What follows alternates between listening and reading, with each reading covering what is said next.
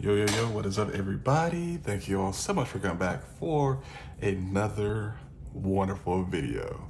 In this video, I am going to be doing the quote, you don't have to be perfect to be loved. So with that said, let's go ahead and get into it.